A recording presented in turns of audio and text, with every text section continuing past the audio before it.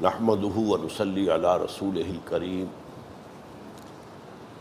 اما بعد فاعوذ بالله من الشيطان الرجيم. بسم الله الرحمن الرحيم. والتين والزيتون وطور سينين. وهذا البلد الأمين. لقد خلقنا الإنسان في أحسن تقويم. ثم رددناه أسفل سافلين إلا الذين آمنوا وعملوا الصالحات فلهم أجر غير ممنون فما يكذبك بعد بالدين أليس الله بأحكم الحاكمين بلا يا ربنا رب اشرح لي صدري ويسر لي امري واحلل عقدة من لساني يفقهوا قولي.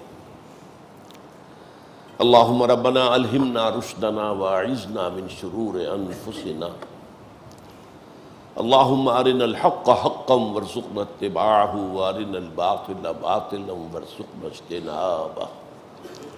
آمین یا رب العالمین میں نے اپنی کئی تقاریر میں ایک بات واضح کرنے کی کوشش کی کہ یہ جو مادہ پرستی کا دور ہے، اس کا نتیجہ یہ نکلا ہے انسانی فکر میں، فلسفے میں، نظریات میں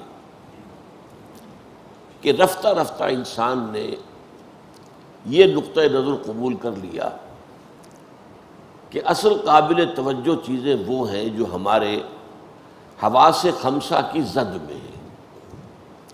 جنہیں آنکھ دیکھ سکے، ننگی آنکھ نہ دیکھ سکے تو ٹیلیسکوپ سے دیکھ سکے۔ دیکھنے والی تو آنکھ ہی ہوتی ہے نا، ٹیلیسکوپ تو نہیں ہوتی۔ چھوٹی چیز کو مائکروسکوپ سے دیکھ سکے دیکھ سکے، سن سکے چک سکے، چھو سکے۔ یہ جو ہوا سے خمسہ ہے، یہ مادیات کے عالم کے اندر ظاہر بات ہے، یہی ذرائع معلومات ہے ہمارے پاس۔ مذہب جن چیزوں کو سب سے بڑھ کر اہمیت دیتا ہے، وہ اس عالم مادیات کی چیزیں ہیں ہی نہیں۔ سب سے پہلے اللہ پر ایمان وہ اللہ تعالیٰ کو مادی حقیقت تو نہیں۔ کوئی دیکھی جانے والی، چکھی جانے والی سننے جانے والی، سننے والی شے تو نہیں۔ ملائکہ پر ایمان وہ بھی ماں طبیعت میٹا فزیکل ورلڈ سے تعلق ہے۔ چنانچہ میرا ایک کتاب چاہے اسلام کی نشر ثانیہ کرنے کا اصل کام جو میں نے انیس سو سڑسٹھ میں لکھا تھا،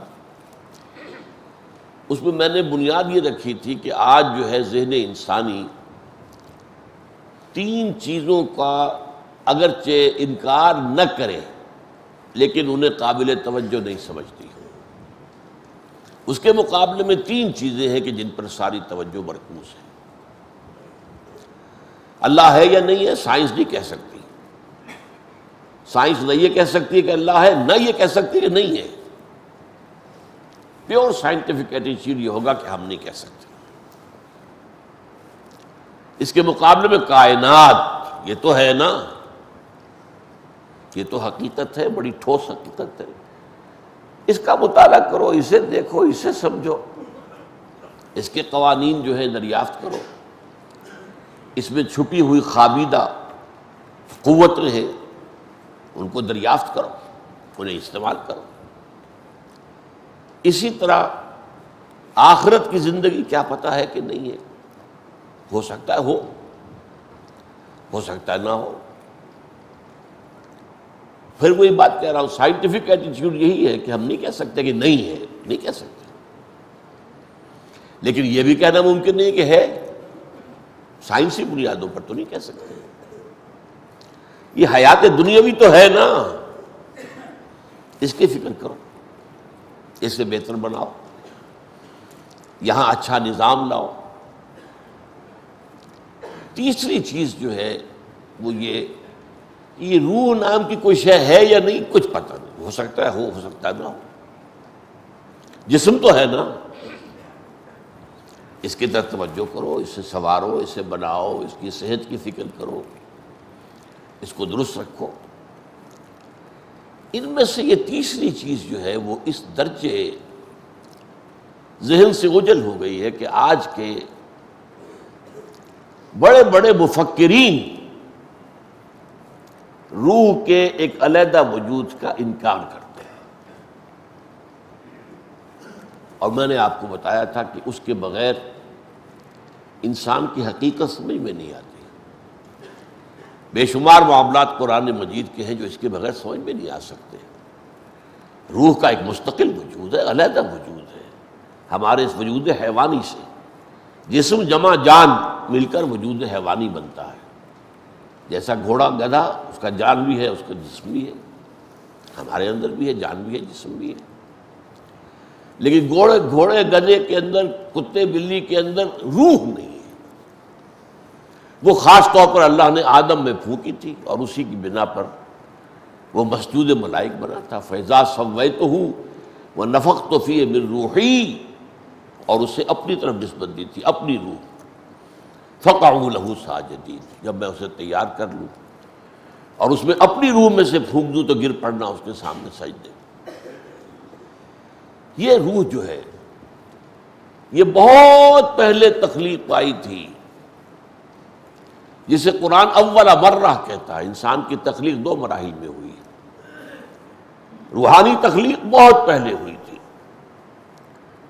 اور اس کے بعد مادی تخلیق، یہ مادی کائنات وجود میں آئی، پھر اس میں لمبا سفر ہے۔ اس کے بعد حیوانات کا وجود ہوا، اس زمین پر پھر انسان کا وجود ہوا۔ یہ جو ہے، یہ تخلیق ثانی ہے۔ اور یہ حدیث ہم پڑھ چکے ہیں۔ اربئی نووی کے دور میں بھی پڑھی اور پھر میں نے اس دوران میں بھی پڑھائی، آپ کو دوبارہ۔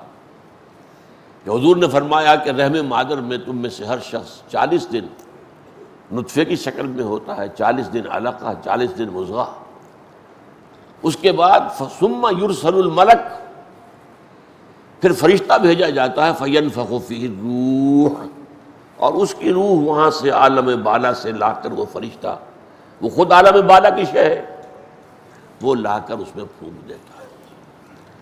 یہ تخلیق ثانی ہوئی انسانی یہ چیزیں نگاہوں سے اوجل ہیں۔ میں نے بہت سی چیزیں گنوائی آپ کو۔ اس کے بغیر عہد عدت سمجھ میں نہیں آتا کس نے دیا تھا۔ انسان کی تخلیق سے پہلے۔ لیکن اسی میں میں نے ایک مثال دی تھی صورت التین کی۔ آج میں چاہتا ہوں کہ اس کو ذرا ہم اس سورہ مبارکہ کو سمجھیں اچھی طرح۔ ارشاد ہوتا ہے وہ تین قسم ہے انجیر کی و زیتون اور قسم ہے زیتون کی۔ وہ تور سینین۔ اور قسم ہے سینین کے سلسلے کے پہاڑ کی تور سینا کی۔ وہ حاضل بلد الامین۔ اور قسم ہے اس بستی کی، اس شہر کی جو امن والا ہے۔ یہ چار قسمیں ہیں جو اللہ نے کھائی۔ قرآن مجید کے قسموں کے بارے میں دو باتیں ذہن میں رکھیے۔ ہم جو قسم کھاتے ہیں تو کس لیے ہوتی ہے؟ کوئی معاہدہ کرتے ہوئے یا کوئی خبر دیتے ہوئے؟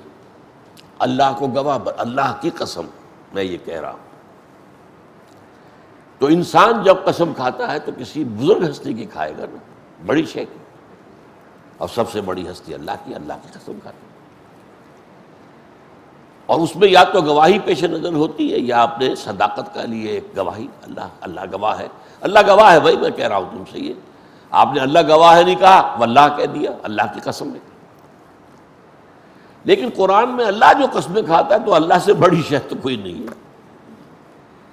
لہذا اللہ کی قسموں میں کوئی عظمت کا پہلو نہیں ہوتا۔ کوئی خاص اس کی اپنی ذات کا پہلو جو ہے کہ اس کے اندر عظمت وہ نہیں ہوتی۔ صرف گواہی ہوتی ہے۔ گواہ ہے انجیر اور